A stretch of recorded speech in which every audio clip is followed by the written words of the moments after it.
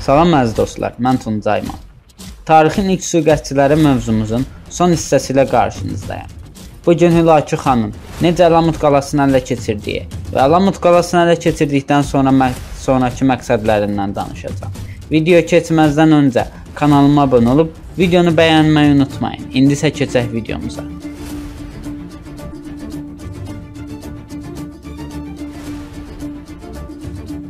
Hülakü xan ən vəhşi xan olaraq bilinir. Hülakü xan Böyük Monqol imperiyasının qurucusu Çingiz xanın nəvəsidir. Hələ uşaq ikən Çingiz xanla səfərlərə çıxar və Monqol hökmdarı necə ola bilər onu öyrənərdi.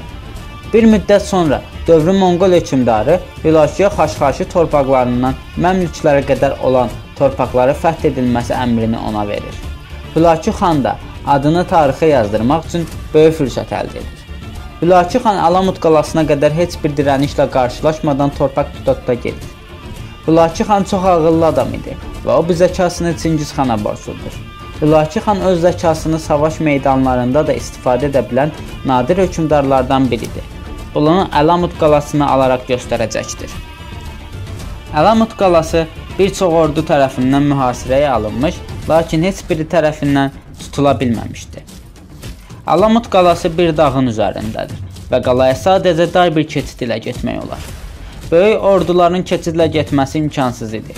Ona görə də heç bir ordu tərəfindən işğal oluna bilməmişdi. Lakin Hülakü xan çox ağıllı adam idi və ağıllı strategiya ilə qalanı ələ keçirəcəkdir.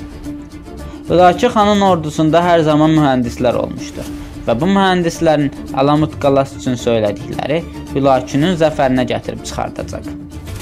Onların fikirlərinə görə Alamut altında bir çox tunel var və bu tunelləri açdıqdan sonra oralara petrol süzüləcək və bu sayədə Alamut böyük bir bombanın üstündə duracaq. Əgər təslim olmazlarsa, qala uçurdulmalı idi. Bu fikir Hülakü xanın çox xoşuna getdi deyə bilərik. Hülakü xan əmri verir və tunellər açılır. Tunellərin altına çoxlu sayda petrol tökülür. Bütün ordulara diz çökdürən bu qala Hülakü xanın önündə diz çökür.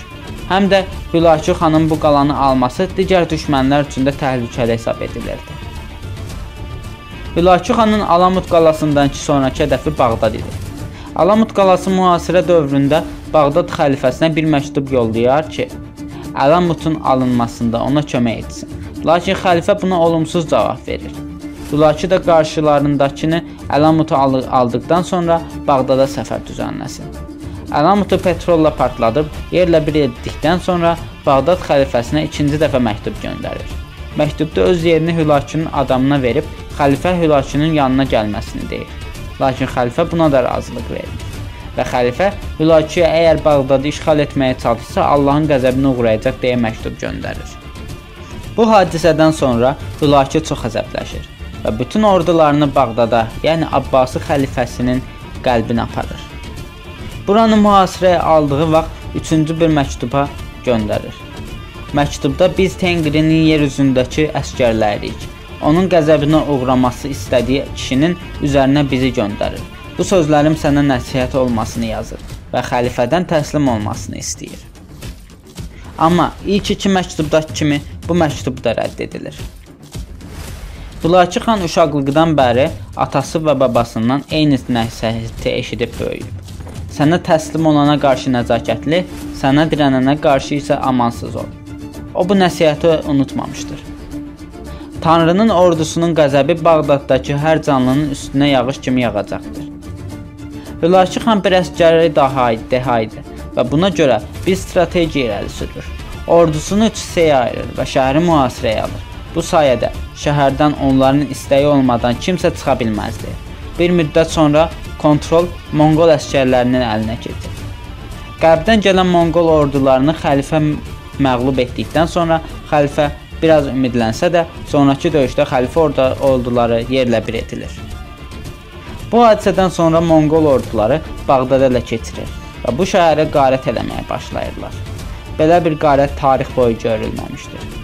Bütün Bağdad əhalisi qılıncdan keçirilir. Lakin bir kişi sağ buraxılır. O kişi Abbas xəlifəsi Mutasımdır.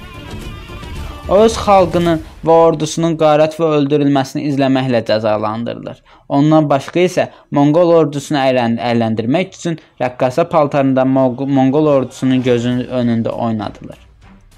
Bağdad səfəri tarixin ən böyük qarəti hesab olunur və 700 min və 800 min arası insanın bu savaşda ölməsi kimi tarixə düşüb. Şəhərdəki bir çox məscid, saray, kitabxana, binaları dağıdılır və tarixdən silinir. Oradakı kitablar isə çaya tökülür. Bu kitabların çaya tökülməsindən sonra bu çaydan günlərlə mürəkkəb rəngində su axılırmış. Xəlifənin ölümü isə çox qəribə olmuşdur. Qədim Monqol, yəni Bozkırın törəsinə görə düşmənin qanı yerə axmamalıdır. Buna görə də Monqollar bir şey əl atır. Şəhərdəki hamı öldükdən sonra xəlifə atlar tərəfindən çeynələnərək öldürülmüşdür. Bu hadisə İslam dünyasında 100 illərlə insanların ürəyinə qorxu ilə saplanmışdır və Hülakü xanı heç kim unutmamışdır. Bağdadın fəthindən sonra Hülakü xan bir digər hədəfə nizamlanır. Bu hədəf Əyyubilər imperiyasıdır. Əyyubilər imperiyası Aralıq dənizinin cənubunda, yəni Misir tərəfdə yerləşir. Hülakü xan ordularını Aralıq dənizi sahillərinə qədər göndərsə də, böyük qardaşı Mencü xanın ölümündən sonra geri çəkilmək məcburiyyətində qalır.